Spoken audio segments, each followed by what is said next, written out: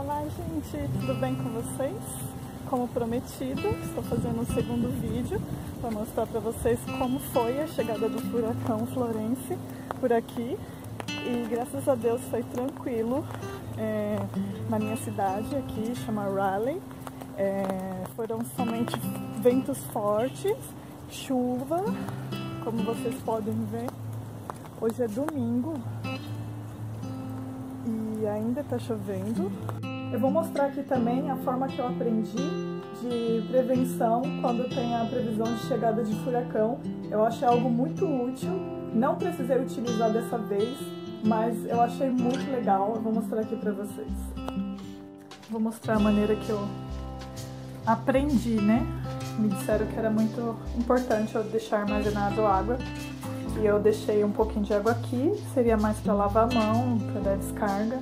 Eu deixei o balde e a banheira, só que depois eu fui ver, a banheira, ela não segurou água, ela vazou todinha. Então se eu precisasse da água, eu estaria perdida. E também água aqui dentro da máquina, que acho que daria pra... Com essa quantidade de água aqui e da banheira, eu acho que já daria para mim sobreviver aí uma semana mas graças a Deus não precisei.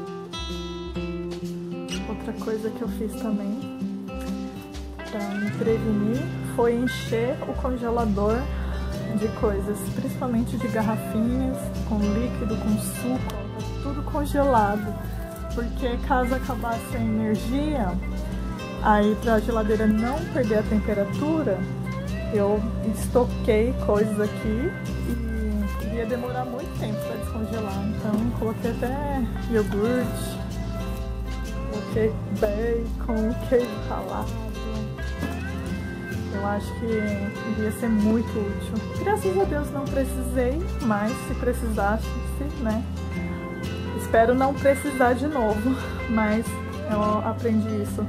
Eu vi pela internet, achei uma, uma dica muito legal.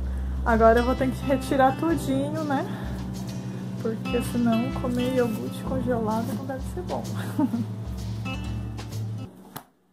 também quero agradecer as pessoas que me mandaram mensagem, inbox também, pelo Instagram, no Facebook e aqui no meu canal também, que disseram que estavam orando, né, por nós aqui da Carolina do Norte. E graças a Deus, né, Deus atendeu a oração de todos e estamos bem. O furacão passou aqui na sexta, sexta-feira e até hoje está chovendo. Ai meu Deus, a guarda-chuva ruim, gente, desculpa. Erro de gravação. Então, é... graças a Deus aqui não aconteceu nada. Na cidade vizinha aqui já, né, o furacão já passou mais forte, muitas pessoas ficaram sem energia, é... tiveram danos, né, materiais, casas, né, quebradas, essas coisas. Mas aqui eu vou mostrar pra você, pra vocês, eu tô andando aqui na rua para poder mostrar pra vocês como que ficou. Que foram somente folhas caídas, galhos quebrados. Então eu vou virar a câmera aqui.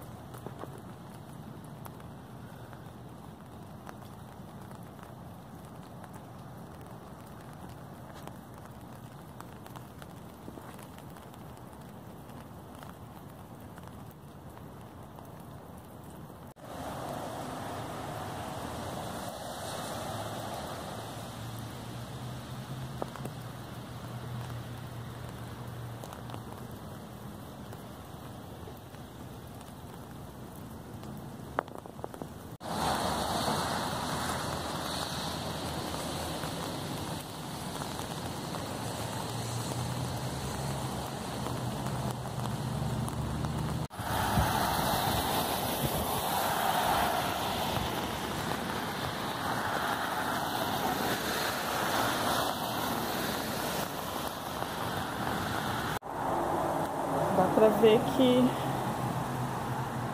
está espalhado bastante galho de árvores.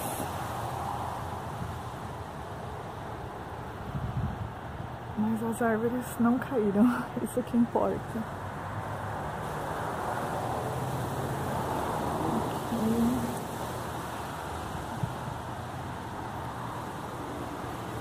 Um pedaço de árvores.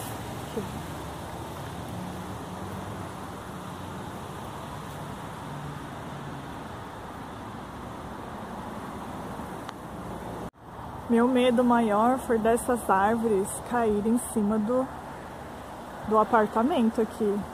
Olha, o apartamento é cheio de árvore em volta. Essas árvores são muito grandes. Graças a Deus não aconteceu nada demais. Nossa, olha como ficou sujo esse estacionamento. Geralmente aqui é limpíssimo.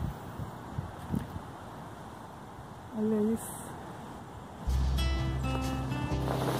Como vocês viram, gente, a passagem do furacão foi bem tranquila aqui. Essa época é muito comum, né? Ter tornado, furacão, essas coisas. Eu espero que esse ano seja mais tranquilo, que nada de grave venha né, acontecer aqui nos Estados Unidos ou qualquer outro lugar do mundo. E é isso, gente. Obrigado por assistir esse vídeo. Então já deixa o seu like aqui no vídeo, se inscrevam, aqueles que ainda não se inscreveram. Eu espero poder gravar mais vídeos para vocês. E até o próximo vídeo, gente. Fiquem com Deus. Beijos.